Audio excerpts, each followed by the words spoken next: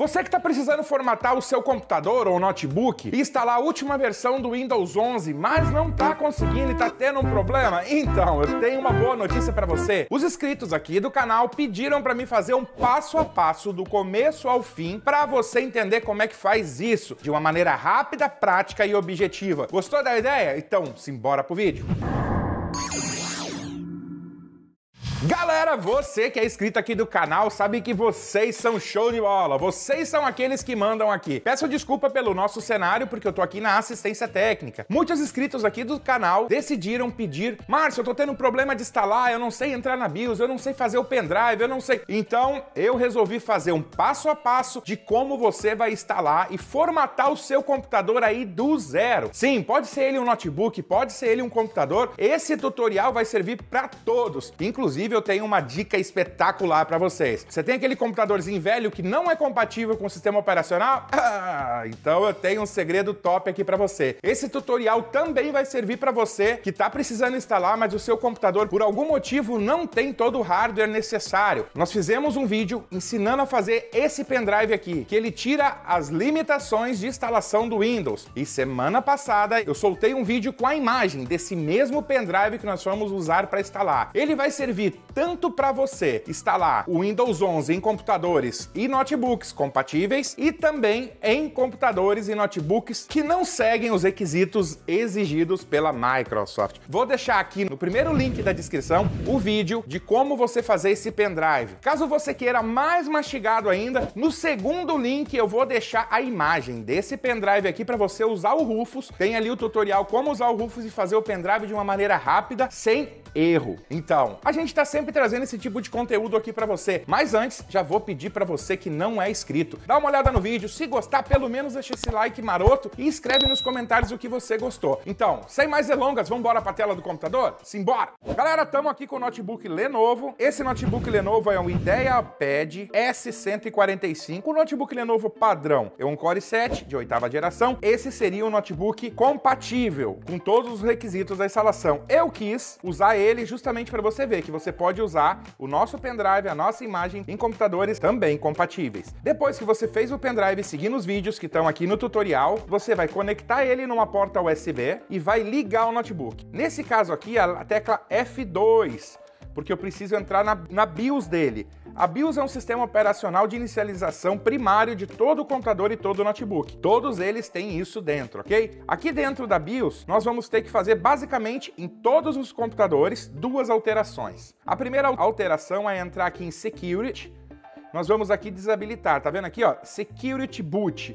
Isso é uma opção que nós temos que desabilitar. Vamos sempre desabilitar. E depois nós vamos aqui na parte de boot tá? Nesse boot aqui, nessa máquina específica, me aparece duas, duas modalidades, ó.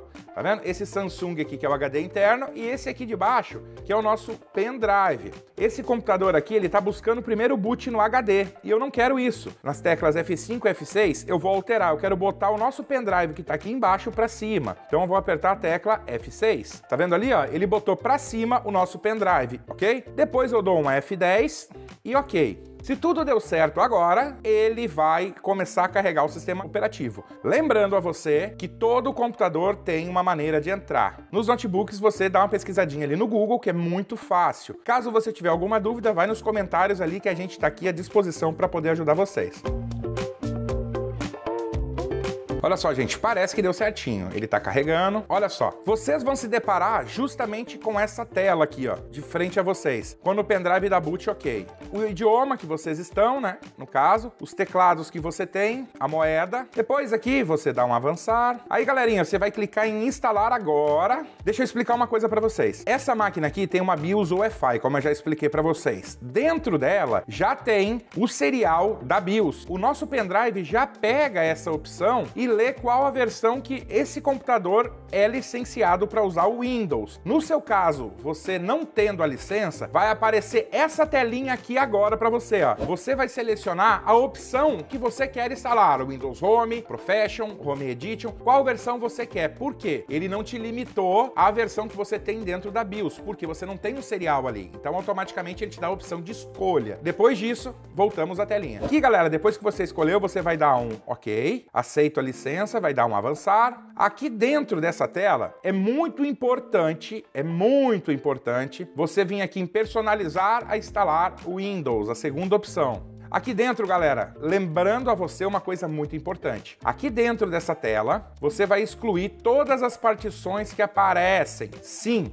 Muita gente disse, ah, não pode excluir. Não, não, você pode excluir tudo. Então, galerinha, lembrando aqui, na parte de, de deletar, você tem que ter feito todo o backup do seu computador anteriormente, porque senão você vai perder todos os arquivos, ok? Lembrando isso que é uma coisa muito importante, faça o backup, independente se você for apenas atualizar, ok? Bom, depois você vai dar um avançar. Automaticamente, galerinha, aqui, ó, ele vai passar agora todas as etapas de instalação e você não vai precisar fazer praticamente nada. Vou fazer um time-lapse aqui agora, sem cortar, para você não perder tempo, tá bom?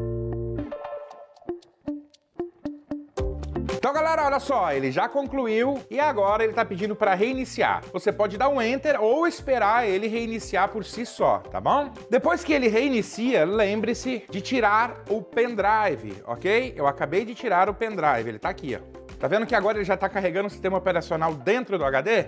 Vou acelerar aqui também para você. Então, galera, depois de reiniciar várias vezes sem o pendrive conectado, você viu que ele, ali no timelapse, que ele fez vários processos reiniciou uma ou duas vezes. Isso pode acontecer com você também, uma ou duas ou até mais. Depois que você termina de fazer a instalação, ele vem nessa tela aqui, tá? Vou aqui, como eu tô na Itália, seleciono Itália, dou avançar. O layout do meu teclado é italiano, então vou lá no II, vocês vão escolher se é BNT2, inglês Estados Unidos e assim por diante, tá? Aqui ele está perguntando se eu quero outro layout do teclado, eu não quero. Eu coloco que eu não tenho internet, olha só, se você fez processo lá do vídeo ensinando a usar o Rufus para desabilitar ou gravou o pendrive usando a imagem disponível pela gente, você vai estar tá vendo essa tela aqui com você. Coloco que eu não tenho internet. Ele pergunta aqui se eu quero continuar. Esse aqui é um dos pulos do gato. Eu continuo com a instalação limitada, porque assim, gente, ele não vai criar uma conta online para mim, tá? E não exige que eu me conecte à internet. Aqui eu vou botar o meu nome, vou dar um avançar, não vou querer senha.